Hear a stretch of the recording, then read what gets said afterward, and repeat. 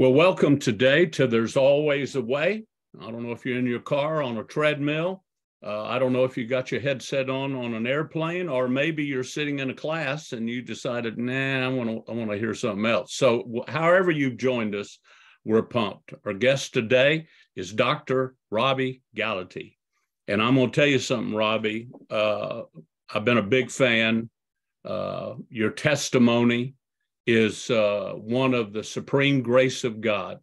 And it's just exciting uh, to see a fellow junkie and mess up and uh, kind of a castaway uh, be rescued and watch the great and amazing things the Lord has done. For all of our listeners, I want to just share with them in case they don't know, they may know you as senior pastor of Long Hollow. They may have heard you at a conference. They may have read several of your books. Uh, maybe they've heard about the phenomenal revival that God did in the midst of COVID. I mean, there's a hundred things we could talk about. Uh, I'm going to try to pick cherry pick some of the ones that fascinate me. But uh, I just want our listeners to know uh, Robby wasn't born uh, Dr. Uh, Robby. He wasn't born Reverend uh, Gallaty. he was a young man for three years battled drug addiction, $180 a day heroin habit. Uh, I joy popped uh, methamphetamine. I shot meta- methamphetamine. And uh, if I had to come up with $180 worth of something, I would have been in trouble. So I, I know there had to be a lot of ingenuity going into you do what you got to do to support a habit like that. Now imagine heroin, cocaine, uh, one time he writes about it very candidly that uh, he stole 15,000 from his parents. He lived without gas and electricity and water for months. And, and I've lost a handful of friends, but when I read, Robby, you lost eight of your friends due to drugs. Uh, man, that really hit me hard. Brought a lot of a lot of memories back because I swore over many a grave, I'm going to stop. I'm not going to do this, and then hours later be, you know, right back at it. Mm-hmm. So, Robby, was all of this in the New Orleans area? Where where were you growing up? Yeah, so I mean that was that was kind of the culture of New Orleans. You know, laissez le bon temps rouler is kind of a saying, "Let the good times roll." And yeah. man, I just lived it up. I mean, I started drinking alcohol around family probably at 15 or 16 just was part of the culture i remember in high school i would go to the bar before my senior year games and drink a Bloody Mary to ease the nerves and go play high school basketball. And I was in a pretty rigorous division, the Catholic League in New Orleans. But uh, yeah, that was part of the culture in New Orleans. And it started though, my addiction, I never done drugs. I was an athlete, but my addiction started when I got into a car accident, rear ended by an 18 wheeler. I was 22 years old. I was in pain, like a lot of people listening. And we have family members like this. And you go to the doctor trusting that they know how to help with the pain and mitigate the pain. And they gave me four things Oxycontin, Valium, Soma, and Percocet. Uh, 60 of each to begin with. Toward the end, it was 90 of each. And you know the story. I mean, I was addicted to pharmaceutical drugs. I took them every four to six hours for pain in the beginning. And this insatiable desire to get high just overtook my life. And like you said, 180, $200 a day for heroin and cocaine every day to live. You have to be creative. You have to be manipulative. You have to steal from your parents. And so, yeah, I went. I went to rehab twice. The reason I went the first time is, be, you know, the reason I went back the second time is I did it without Christ the first time. And I'll just say for those who are battling any addiction, uh, mm-hmm. sobriety without Christ is always a dead end street. You'll have momentary seasons of sobriety. I mean, you can have uh, some kind of uh, victory for a season with AA or NA meetings, but long term, you will never see freedom. Why? Because you need someone outside of yourself to set you free from the very thing that shackles your life, which is the sin problem inherited from Adam. And so I surrendered my life to Christ November 12, 2002, just 20 years ago. And I'll tell you, Dr. J, one of the things I've tried to do is I've never gotten over being saved. Mm-hmm. I just never gotten over being saved. I, I, I, read the New Testament, and I think that's the secret to the Apostle Paul's life. He believed that he was one like me, untimely born, and just felt like he had to make up for lost time and he made an agreement with the lord that while he was here he's going to make the most of every moment and i feel like that's kind of been the trajectory of my own life Man, what a powerful, powerful story. Uh, I was asked by teenagers one time, they said, uh, you know, after all you've been through, you know, my background is, uh, uh, you know, we we share. We're like the guys on Jaws. You know, they're showing the sh- scar from the bull shark and the shark, the the other one. Yeah, well, look at this what the Thrasher shot did, and then there's the photographer going. You know, he's got his appendix scar. You know, but uh, uh, so one time uh, I was asked by a bunch of students, and uh, about what I really thought was the one thing. I said, here's what you got to know Jesus is not just the Savior, He's the deliverer. I'd quit hmm. a mm. hundred times, Robby. You know, I was very good. I was all state in quitting, but it would be sometimes one word would set me off, or that depression would come back, or wanting to be uh, the life of the party. I mean, a hundred different factors, but I couldn't ever stay quit until mm. that night I uh, asked Jesus to come and I built a manger in my heart and asked him to be born in me. And uh, so I learned he's not just Savior, which is a big deal. I'm grateful for forgiveness and Clint, but I'm also very grateful he's deliverer, that he doesn't leave us, doesn't us, and gets us through.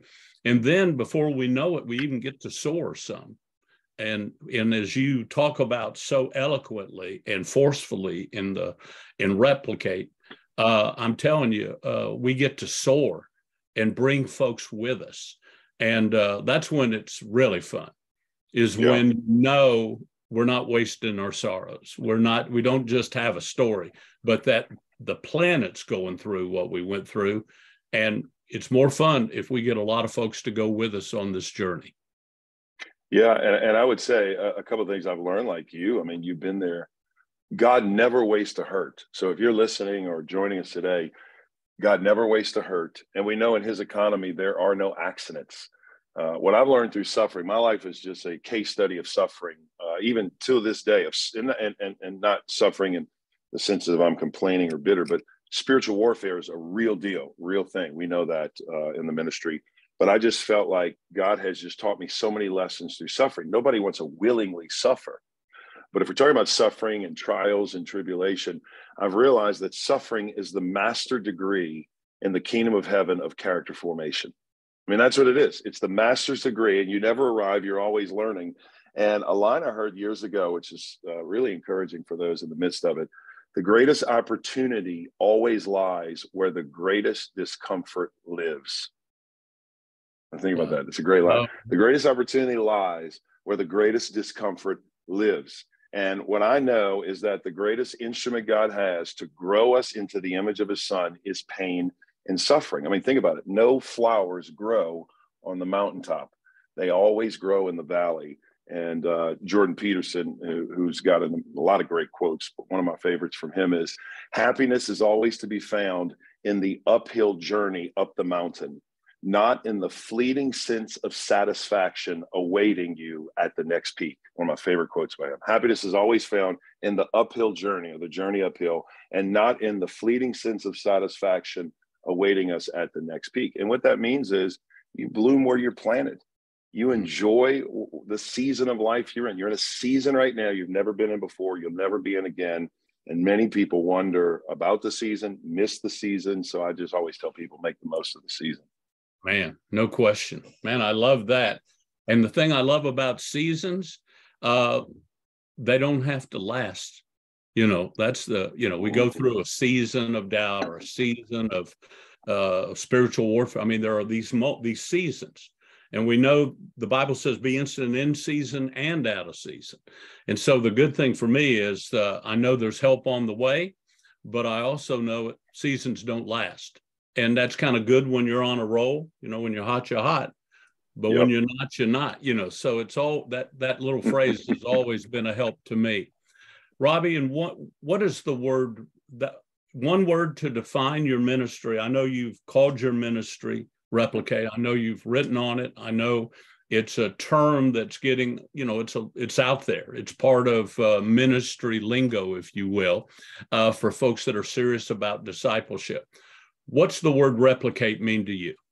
What why that one word to, to kind yeah. of describe everything you've been through, everything you've learned, but yet where are you're going. Yeah, so my story is I'm the product of discipleship. So you're probably wondering how does a former drug addict, alcoholic, uh, raised in a Roman Catholic home, South Louisiana, find himself to be the pastor of a Southern Baptist church in Middle Tennessee, and you know went to school. Uh, it's it's I'm the product of discipleship. So eight months, Doc, right after becoming a believer, I kind of wandered in the Christian faith, faith like a lot of people listening. I knew I should read the Bible. I didn't know how. I was encouraged to memorize scripture. I didn't have a process. I knew I should pray, but I only knew rote prayers, formal prayers. And basically, what I needed was someone to disciple me. And I had a girl at church who I'd gone to college with before. Her dad was a professor at the seminary. And she said, Robby, you're like a sponge. You need someone to disciple you personally. And I, I was new to the faith. Remember, no dad that's a pastor, never been to seminary, never really read the Bible in my life. But I said, do people still do that? I heard of it in the Bible, you know, disciples, discipleship. And she said, if you pray for it, I bet God would send you someone. So I began to pray for about two months from July to August, uh, end of August, beginning of September. And there was this young 15 year old looking guy who went to Edgewater Baptist Church on Paris Avenue by the name of David Platt, who at the time was a seminary student uh, he was uh, finishing his degree, and I looked like his older brother, his bodyguard back then. And uh, David, by God's grace, comes across the church one Sunday. He's like, "Hey, God placed you on my heart. Would you want to meet once a week to study the Bible, memorize Scripture, and pray?" I said, "David, I'd love to." He said, "Pray about it." I said, "I already have. When do we meet?" David Platt and I began to meet once a week as he finished his PhD, and he was the catalyst that encouraged me to go to seminary. David Platt baptized me. Uh, I put that off for a year because as a Catholic, that's a big deal to really oh, yeah. cut yourself off. You know that from your faith. And uh, David took me on my first mission trip. David stood at my wedding to Candy. And I say all, and I became David's assistant for a year uh, when he was wow. the chaplain of the seminary. I traveled with David. I mean, it was just, it was discipleship at like the first century. And I say all that to say, I am the product of discipleship. And David always instilled in me early on. And, and another guy picked me up by the name of Tim LaFleur, who's been on staff with me for years. And he was a BCM director at, at Nicholls State and took me to Glorieta, New Mexico. So I had these two men coming together in my life at, at a time when I was a blank slate. I mean, I was a whiteboard, you know, and they were just saying, this is this is what a Christian does. A Christian shares their faith, a Christian reads the Bible, a Christian prays, and a Christian disciples people. So I just believe them, right? Like I just uh, said, this is what a Christian does. And so I tell people I am the product of discipleship. If they wouldn't have discipled me, then I wouldn't be doing it today. And here's what David instilled in me discipleship is always carried out to completion only when a disciple makes a disciple who makes a disciple. Because if you only invest in a person, person that's a lecture to a student. Anybody can make converts, and we need to see that. Anybody can make uh, decisions. A lot of people go out and make Christians. Jesus never said that. And what really did it for me is when I began to read the New Testament, I realized the difference between the usage of the word Christian in the New Testament and the usage of the word disciple. Fascinating study. But the word Christian is only used three times in the entire Bible, two of those times as a term, according to the Harper's Dictionary, as a term of derision. They were making fun of them, like you're fa- you're a little Christ after the guy who died on the cross. What are you talking about? I'm not saying it's a negative term today, but back then it was. It's a positive sure. term today.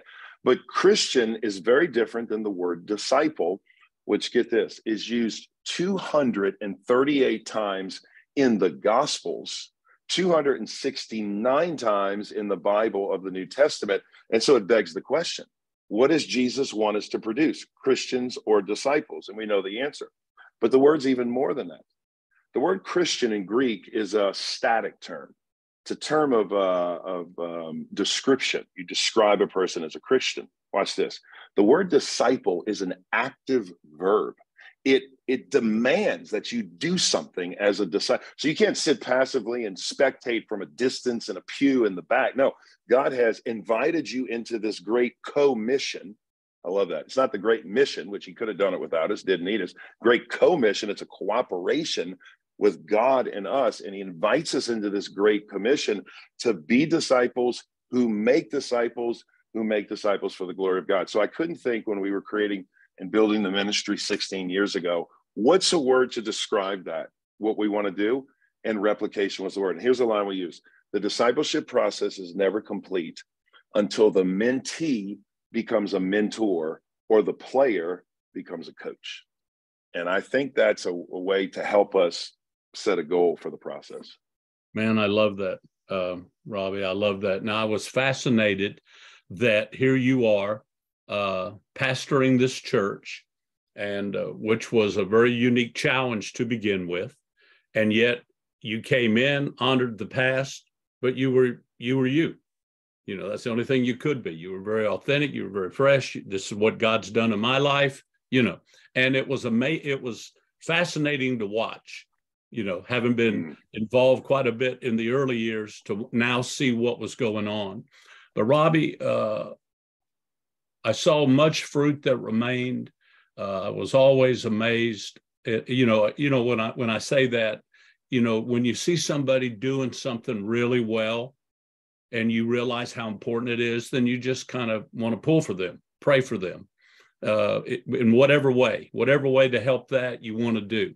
And so, you know, you've had that impact on a lot of older guys, you know, uh, you know, I'm I'm being mentored by all those older guys. So, uh, but anyway, uh, I just mm-hmm. want you to know. But yet, when all of a sudden, when COVID hit, and a lot of mm-hmm. things that Long Hollow uh, you were doing probably as good, if not better, than anybody else, all of a sudden everything kind of came to a standstill across the kingdom with the exception of one or two you know notable exceptions and in the midst of that i kept hearing these reports of revival fresh wind blowing so how tell us about what happened in that revival yeah this is a crucial part of my own journey spiritual journey well, you know, you know Long Hollow because you and David Landrith, my, my predecessor, were friends. You preached at Long Hollow. You we, we do events at Long Hollow for SLU, so we're really connected.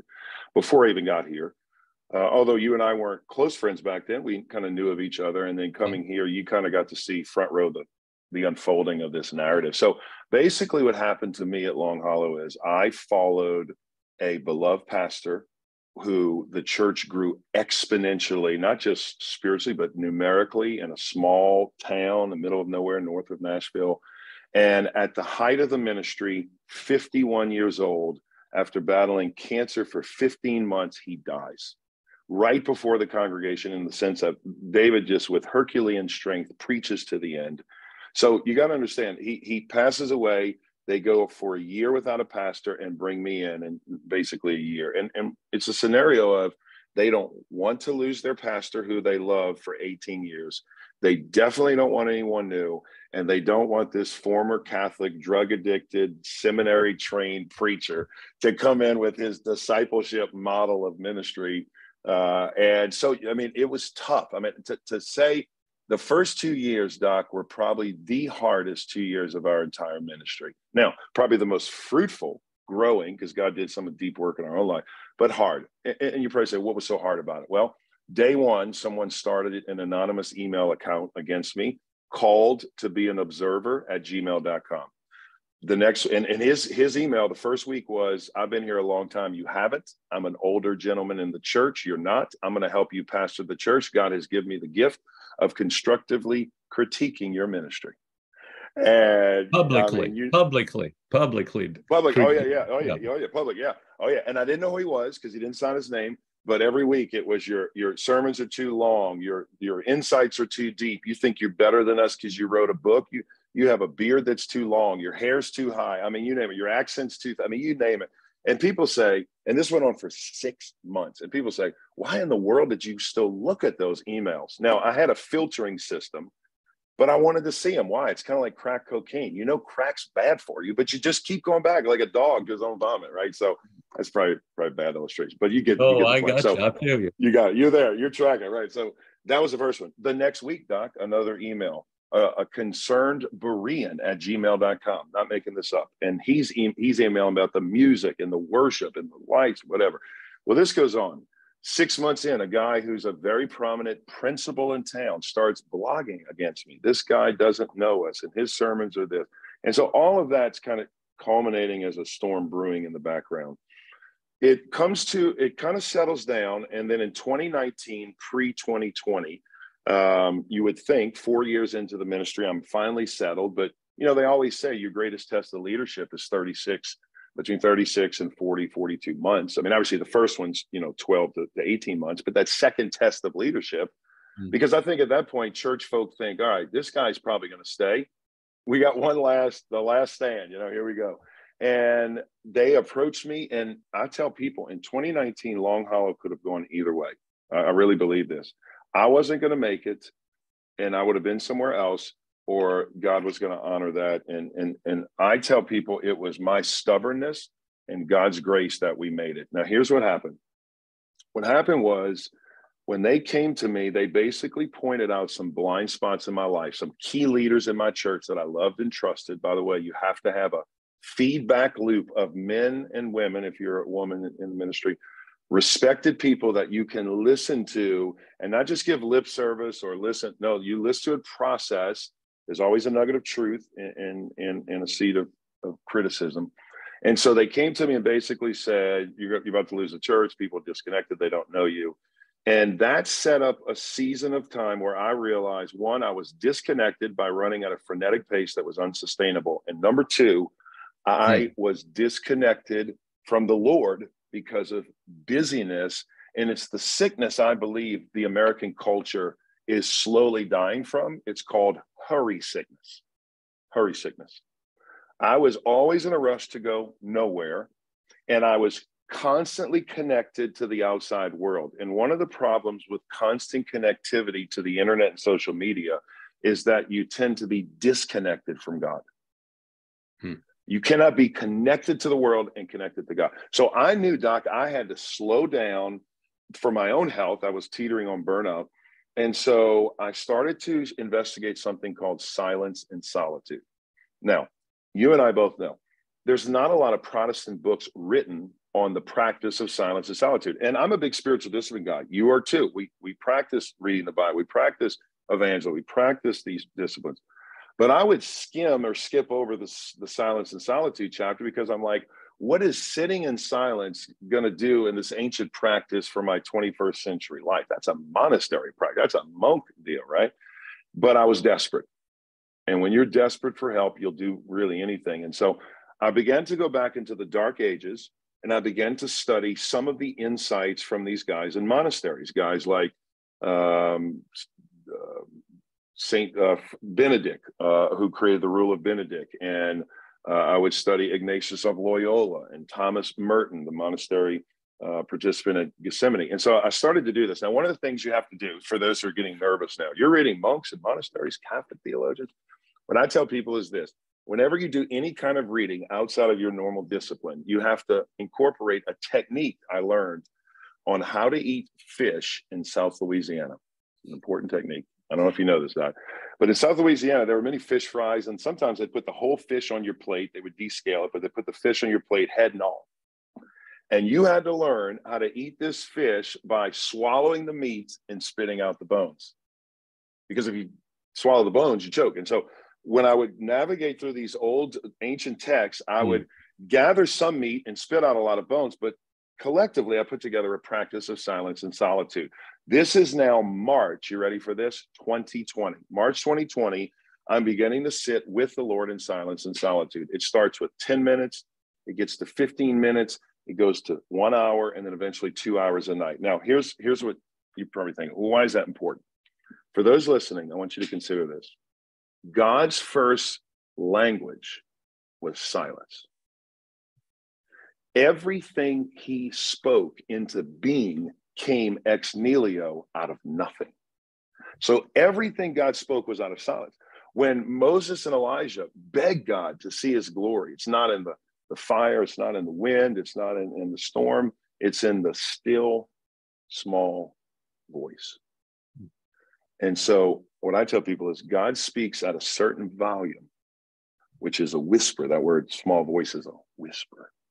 And so if God's speaking and we can't hear him, maybe it's a connection to the volume of the voices of our culture being amplified in our mind. Okay. And I was not good at that. So here's what I had to do I had to cultivate a practice of sitting with the Lord. I tell people to bend my ear to the accent of the Holy Spirit, which I was not good at, particularly as a Baptist, but I was not good at as a I don't Christian. think I've anyway. ever heard that. I've never heard that phrase before, but I love yeah. that. Say that again. Yeah. So I had to learn, the Lord showed me, I had to learn how to cultivate an environment to bend my ear to the accent of the Holy Spirit. Okay. Here's what I mean. Imagine if I take this this glass here, if it was clear, here's the picture, and I go down to a, a riverbed, a, a river or a creek, and I scoop up a whole bunch of water in this clear cylinder glass. And when I put the water down on the top of my table, the water is not able to be looked through. Why? Because it's filled with sediment and dirt and debris. But if you let that glass sit for long enough, the debris and the dirt and the sand and the mud begins to settle. And over time, you're able to see clearly through the glass. That's exactly what happens to one's soul when you sit long enough in silence. So, silence is not the end all be all. Silence is, I, I like to call it the tuning fork to get my ear in line to hear the voice of God. Hmm. And so here I am on the porch, March 2020. I'm engaging in silence and solitude. And honestly, I mean, I was honest with the Lord early on, Doc. I, I remember sitting for about an hour and a half one night. I was a couple months in, and there was nothing, right? There was no like, there was no like global megaphone from heaven. I didn't see a star constellation formed into a word, nothing. You know, I didn't get anything. And I remember walking into my house and saying to the Lord, just candidly, honestly, what was that? Really, God? Like, what was that? I, I was out here for an hour and a half. I got nothing. And the Lord showed me something. I'm not sure. The Holy Spirit tap, taps me on the shoulder and basically says to me, No, you didn't get nothing. You got everything because you got me and I got you. And it's at that point I realized silence is not absence, silence is presence. It's being in the presence of God without coming to Him with a laundry list of IG ideas or agenda items for Him to rubber stamp so that my life will be better. That, that was my prayer life. God, if you just do what I'm asking you to do, it will all be well. And I realized I was really good at getting my agenda kingdom items or my my kingdom items into heaven by incessantly talking but if I wanted to get God's kingdom on earth through me and in me, I needed to do a whole lot more listening. Hmm. And I wasn't good at that. Oh. And so about about three, four months in, Doc, this is the kind of the this kind of the turning point. I'm I'm complaining to the Lord about the country. I'm complaining to the Lord about my church. It's COVID. You know, we're as a pastor during COVID, if you're listening, I mean, we we could not win. Every comment bifurcated the congregation immediately. You know, whether you said, mask or no mask, vaccine or no vaccine, uh, you know, come to church, go online. I mean, you could not win as a pastor. And so I was worn out and tired. I started complaining to the Lord, like, Lord, I need you to fix the problems in my church. And while you're at it, I need you to fix the problems with the deacon body because they're they're not on board. And by the way, fix the problems with my staff; they're siloed. And and and while you're working, why don't you fix the problems with our country? We had racial unrest and political tension and everyone was mad and boiling over. And after some time of having this spiritual pity party, you probably had these before with the Lord, uh, the Lord waited for me to finish, and I just felt like and speak to the quietness of my own heart. Robby, the problem is not with the church. Uh, your major problem is not with the staff. Your problem is not with the deacons or the country. The problem you have is with you. You're the problem. Mm-hmm. Now, if you've ever gotten that gut level honest with God before, it's pretty painful. I mean, it's painful. I remember how painful that was because at the time I would say, God, I don't have any consistent, persistent sin, which I didn't. I mean, yeah, I struggle with pride and arrogance and take, but nothing overt at the time.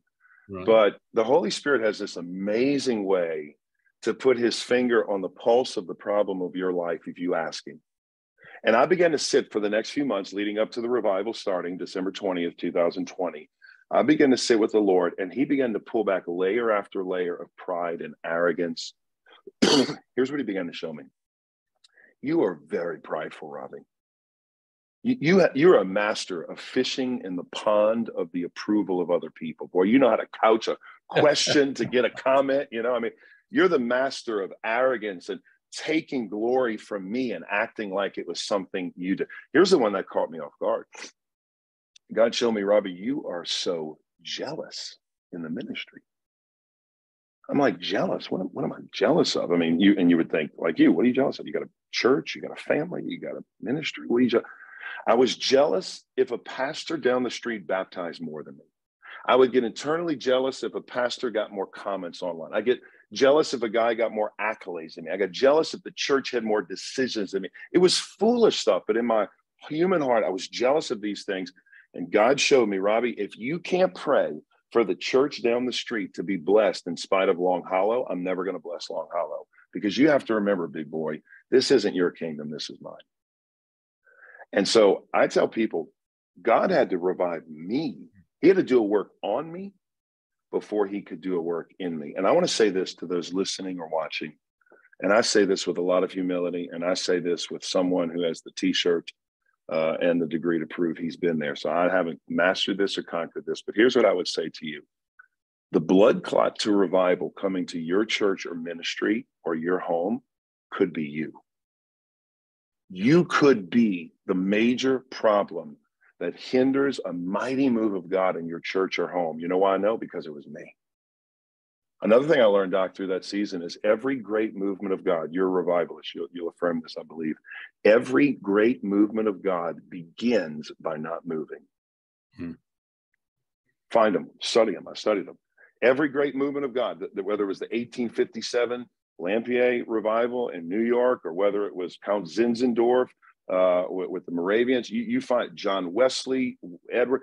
They it was a group of people who said, "God, I'm not going to move until you move," and they did. They sat in the presence of God, and so that started this revival. Short, shortly, what happened? God spoke to me clear as day. Two words: spontaneous baptism. I was on the porch. Uh, I never thought about those words before. Remember, I'm not a pastor's son. I, I heard abuses of that, but I offered it to the church the last day we were going to meet in person uh, right before COVID. We had to go online for a season. We were leading the nation in COVID cases at the time, not the list you want to be on. And we offered it, and God gave me a number. He's only done this twice over the past two and a half years. He gave me a number, the number 100, which is really a fascinating number because when was the last time you saw 100 people spontaneously baptized, COVID, stay at home, don't come. If you do, you know, come protected. If you don't want to do that, you know, and, and so it was the lowest attended Sunday service services we've ever had. And by God's grace, we baptized 99 people on that first day. And I thought it was over, but it began a move of God that lasted in a white hot fashion for six and a half months. Mm-hmm. And we saw the, the beginning, we saw over 1,000 people baptized in 15 weeks. Now, think about that. Mm-hmm. One, now, this is Middle Tennessee. Well, I didn't even know there were that many lost people far from God in Middle Tennessee. But here's the thing that the common denominator, the common theme I heard from every single person baptized that year, which there were almost 1,600 of them, 1,600 in a year. 17 different states, Doc. They flew in from all over the country, from Maine and and uh, Oregon and California. And the com and I never asked one time flying and be baptized. They all came in. We baptized people, and here's the common thread. And I want you to get this. I would ask them when they would get in the tank. Hey, where are you from? And they would tell me New York, Florida. Wow, what brought you here? Why are you here? You could have been baptized at your church. You could have been baptized closer. Here's what they said The Holy Spirit of God compelled me to come. I had to come be a part of this. And I tell you, listening, pastor, leader, minister, the greatest move of God is not going to be manufactured by a man. This has to be sent by God. When you get people on fire for Jesus, that is something God ignites. It's not going to come from a sermon series or a strategy or a process or a paradigm. All those things are helpful and good. But we realized that we got to, for a moment, touch the hem of the garment of Jesus. And my life is forever changed. And what I'm doing now is just trying to get back into that little moment, that glimpse of glory again. And you know this, you've been in this revival. Once you experience a mighty move of God, you can never go back to normalcy you You're can't ruined. go back to synthetic, surface level Christianity. That's done with. You're ruined, as you said. Wow, Robby. Well, three quick questions. When you hear the phrase, there's always a way. Now, you just probably answered that question better than anybody in what you talked about how God God did what he wanted the way he wanted when he wanted and he did it through you and your people. So yes. if anybody knows there's always a way, you had a front row all access pass uh seat, right? So but what goes through your mind, Robby? You know, I know your background, I know all that God has put in you, which it's uh, amazing to me that what a lot of people cast off, the Lord decides, I'm going to use this. And uh, it's a great privilege, you know. Uh, I have one great gift. I have a big mouth. That's a, that's about all I brought to the table. All right. But he did give me a story, and it's too good to keep to myself. Uh, but Robby, when you hear that phrase as a author, pastor, and, and spiritual leader to so many, there's always a way. What run? What's the first thing you think of when you hear that? Yeah, there's a couple things I think of. Um, I always think of my own life first. I mean, I start with that, and I realize that if there is still breath, there is still hope. Mm. I deal with a lot of people with past like me, obviously parents and counsel, and they always come in with their life in shambles. They've messed it up, guilt and shame. And I always encourage them to think, and I would say this to you listening the final chapter of your life is yet to be written if you're still alive. Mm. And the past is what God uses to strengthen you for the future. Too many people worry about the past, are anxious in the present, and are unconcerned about the future because they're paralyzed by it. And so I would say, first of all, just think about how God always takes a mess and makes a message. You've heard this before. He brings yeah. you to tests in order to give you a testimony. Uh, I would also say, too, um, that um, God can do more in a moment than you can ever do a manufacture in a lifetime. And that's why, that's what the Lord showed me about just praying for Him. What's going to change this country is not a new paradigm, it's not a new Congress, it's not a new president, it's not a new uh, budget plan, it's not a new uh, sermon series. What's going to change this country is men and women on their faces seeking God and begging God to move. And so I would just encourage you to increase your prayer life uh, for that. And here's the final thing I would say, and I tell people this all the time don't be discouraged when you start to serve the Lord, particularly in the beginning, with life falling apart or things not going as expected. The health, wealth, and prosperity gospel has paralyzed and crippled so many Christians to think that if I give my life to Jesus, it's a bed of roses. If I give my life to Jesus, everything will go well. No, here's how it works you can choose your sin, but you not you're not able to choose your consequences.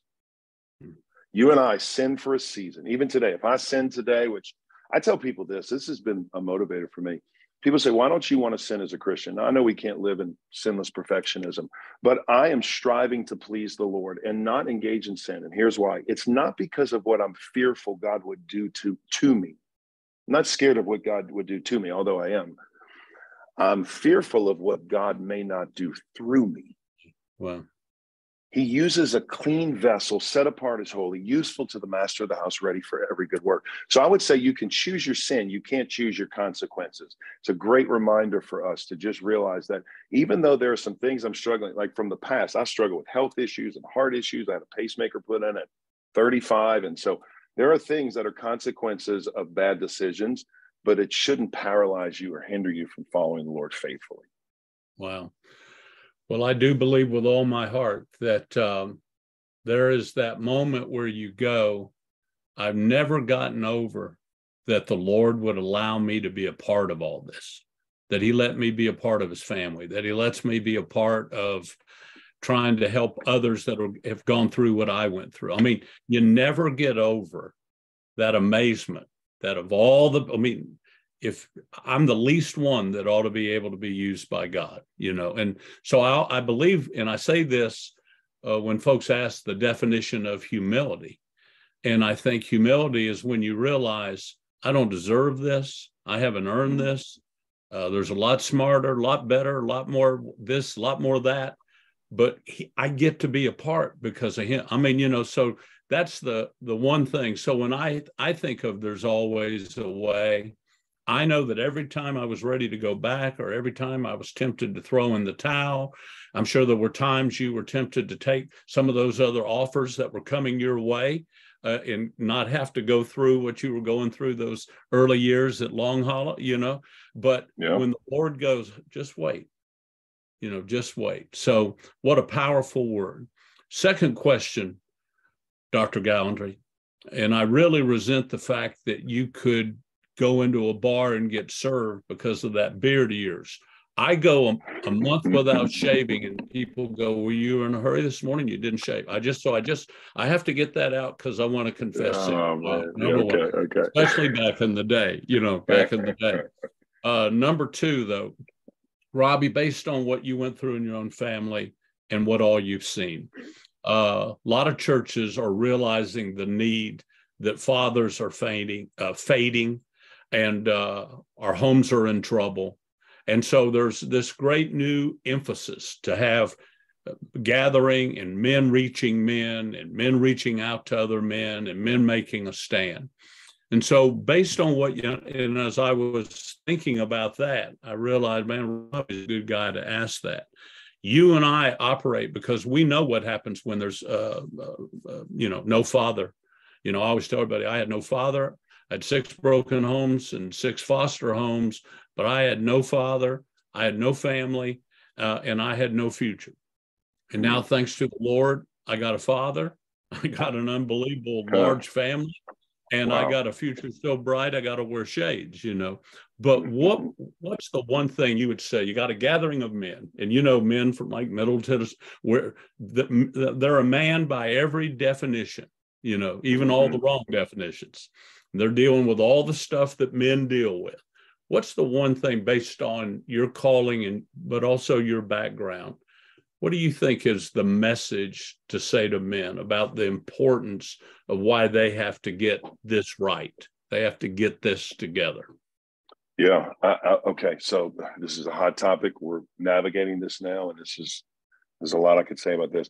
I would say the number one thing we've found with why men are not discipling their children or investing in the home. You know, in the Old Testament, the man was the priest of the home. It was the man who led the Passover in the home. It was the man who gave out the elements. It was the man who told the stories.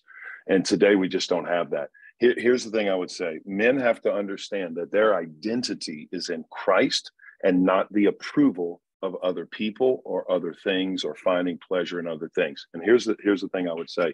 The reason men aren't confident is because one, they've never been discipled in the first place. 70% I think of pastors have never been discipled. So our men have never been discipled as well. And so that's the first thing. And what I like to share with a man is this because I'm a big approval seeking, affirmation driven, accolade encouraged guy. But one of the things that blew me away is that Jesus's baptism in Luke chapter 3, it says that as Jesus was praying, the heavens opened up and the, the Holy Spirit descended like a dove. And the, and the Father says to Jesus, This is my son whom I am what? You remember this? Well pleased. Mm-hmm. Now, what's fascinating about that line is well pleased in what, God? We have no record of Jesus doing anything ministerially. What do you mean you're well pleasing? He's never healed a man yet. This is before any of that. He's never walked on water. He hadn't called a disciple. He hadn't taught a lesson. And it shows us that even the Father's teaching us a secret about how to father our children. Hmm. That approval is not something we earn or something we merit or something we work for. God approved the Son and said, You are well pleased before he did a thing in the ministry that we know of. And I would say for fathers, one is they have to know that they're approved and loved unconditionally by God, regardless of what they've done or what they will do. But secondly, they have to show that approval to their kids. Every father, if we're talking about parenting, needs to let their kids know three things over and over. Number one, I love you.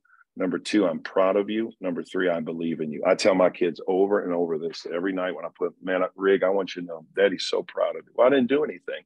Yeah, you don't have to do anything. I'm just proud to call you my son. I'm proud that of all the dads in the world, God could have chosen from for you to have as a father. He chose me. What a privilege I get to be your dad. They need to hear that from their father because they're hearing a different message in the world. And then I would say men need to know and have a, a track or a framework for making disciples. Replicate, if you guys are interested, we have tons of resources you can download for free of how to lead a D group or a discipleship group, how to read the Bible with your children, how to invest in them, how to feel confident, how to do it in the church. So I would offer that replicate.org is the is the reference. Yeah, I've always been um, just uh, so proud, if I can use that term, of the way, uh, you know, yes, there's the book, but so much of the content you just make available.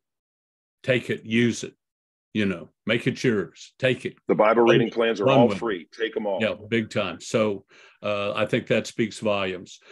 Uh, Rob, youth pastors, before we close, uh, we have a lot of young youth pastors that are trying to get serious about their education. Uh, how important is that? But also, what would you say to youth pastors about the whole key to youth ministry really is discipleship, being a disciple and making disciples. I don't know anybody better to say that to youth pastors than you. Share if you yeah. would give them a Here's word the, from you. Yeah, the aha moment for me of my life was when I realized the greatest evangelistic strategy I had to offer was discipleship. What do I mean? When I was at Brainerd Baptist, the church I pastored before Long Hollow, I, I, got there as the new pastor and I felt the pressure of, quote, growing a church, growing a ministry. That's what they expected. That's what they wanted to know what I was going to do. And I got caught up into what I call escalator evangelism, where people get on the escalator, they ride up and they go out the back door, right? And and I know this doesn't happen at any of your churches if you're listening, but if you're a student minister, you know, I mean, it's just like a revolving door. They come in and go out. And one Sunday I was preaching, and the Lord, right in mid sermon, just began to speak to my heart and show me, Robby, you have every person you need to change this city already in the padded seats and pews throughout the church. They're the untrained disciples who are waiting to be mobilized eh, to take responsibility for their faith. They simply don't know how to do it. So the Lord showed me you had a you had a group of untrained kind of green berets for the ministry. Not not all, but most.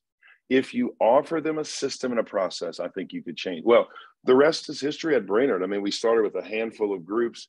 In year two, that those groups grew to about 30 uh, group people in a group. I had a discipleship group. The next year, it grew to about 65. The next year, it grew to 125. I'm not impressing you with numbers, but I'm just showing you how exponential sure. growth works because the groups meet, Doc, and then they replicate. Uh, at the end of that year, it was 225. And from the year, this is 2012 to 13 now, my first book, Growing Up, came out. And I challenged the church in 2013 grab a group, meet, and it was a 2014, 13, 14. Grab a group of three to five people, meet together for the purpose of accountability, prayer, scripture memory, and then at the end of that time, launch it out. The groups grew from 250 to 787 in one year, 787 people. And the next group year, it grew to 12. I think it was 1285. And when we left or came here, we expected to be over 1500. Here's why I tell you that we had gotten a place where we had more people in D groups than life group, which was kind of a conundrum at the time. but the point, but the point, and it was a good problem to have. But here's yeah, the point: yeah. I tell you that it starts small, but it's an exponential growth mechanism Jesus gave us to reach the masses. And so, if I'm a student pastor, here's what I'm doing: I'm leading two groups at all time, non-negotiable. I'm finding three to five students that I can meet with on a weekly basis. These are students who are catalyst shapers. These are students that if God gets a hold of their heart, they will have a ripple effect in my group. I'm also meeting with some parents who are key leaders in my ministry that I can get them on board. Now, this does two things. One is it lets them see that Pastor Rob or Pastor Jay, Pastor Mike is a real guy. He has real struggles like me and real challenges like me. And here's what I find um, uh, Patrick Lencioni said this line without weigh in, you have no buy in. They will never buy in if they don't get to weigh in. And so I, when the D group lets them weigh in your life, but also you're going to raise these men up, men with men, women with women. You're going to raise these men up that after that you replicate them to do the same. And I'm telling you, strap your spiritual seatbelt on and watch what God does. When you begin to do ministry like Jesus does, and I'll close with this line, and this is the one that should reverberate in our minds. And here's the line You and I cannot expect to experience the blessing of the ministry of Jesus and divorce ourselves from the disciple making method he used. Not only are Jesus's words inspired, which I believe, but the method he used was inspired. The way he did ministry was inspired. And I think, Doc, for so many years, we've concocted a system that is either unbiblical or not uh, in line with what Jesus did, which was take a few, invest for a season of time, and launch them off and repeat the process. Robby, the last thing I'll say is obviously thank you for what you shared about David Platt. The way you described him, he, you know, I had this little straight little church kid, wore his pants up to here, you know, and stuff in his pencils and stuff in his pocket, you know what I mean? And that was the guy. I called him the geek of the week that shared Jesus with me, influenced me. And then when it when I had this experience with the Lord, guess who I looked out? looked for, mm. I sought out. I went to find mm. that one guy, you know, and then for the fact that he that he poured his life into you. But then I also heard that here you are now at the stage of life. Uh, I think we have a mutual friend that you've asked him to mentor you at this stage of life. And I think that speaks volumes. Mm. Yeah. You know? Yeah. Well, that a busy pastor would say to an older pastor, you know, man, you know, share with me, help me. I mean, you know, invest in me. Yeah. Well, I've always, one of the number one qualities and characteristics you have to have to be a disciple who makes disciples. You can have all of these, you can have all the talents in the world to write home about. You can be gifted as a speaker, a leader, Bible study, uh, hermeneutical expert. You can have all those things. But if you don't have this one principle, I can't invest in you, and, and I really believe you won't make an impact. And that's the one principle of teachability. You have to remain teachable. But if you're if you are teachable, but you don't have any other qualities or skill sets to write home about, you could change the world. And so I know my life is the moment I stop growing and learning is the moment I start dying. And so I tell my boys all the time, uh, until you admit you don't know everything, you'll never learn anything. And so we always have to remain teachable. Robby, thanks for sharing with us today. Thank you for the great reminder that um, we all have blind spots and they're not blind to anybody but to us you know they're kind of glaring in fact but to us they're a blind spot and i'm grateful for those that have earned the right because they cared for us they pray for us they they're there you know they're and they go and i want you to know that was one of the game changers for my life when i realized because i saw several men that were the best men i knew and i'd known them for years all of a sudden lose the confidence of their people and one, and yes. I would think, well, the devil got a hold of this. The de- the deacons are the devil. This guy's possessed. I mean, you know, that was my fallback position. And there was that one moment where the Lord said, you know, Jay, not everybody that cares enough to point something out. Now, that maybe they could have done it in a better way, and certainly never publicly, but there are those people in your life that should have earned the right to talk straight to you. And that's when that moment was a game changer for me. I went to every one of my board and I was, you know, traveled. So I had a board that lived all over the country and we met two or three times a year. I didn't ask them to come to me. I went to them and I said, man, listen, no one has proven to me you loved me, you've supported me, you've stood with me. And I want to ask you right now, because you've earned the right, is there anything that I do that makes you scratch your head? Is there anything I do that makes you go, man, why did he do that? Or man, he worked so hard for this and then he does that one thing. I mean, and I'm going to tell you, that was a, a game changer. And some of the mm-hmm. things they brought up, once they heard kind of why I did it, they went, Oh, I understand. But mm. there was a whole lot of me going, Oh my gosh.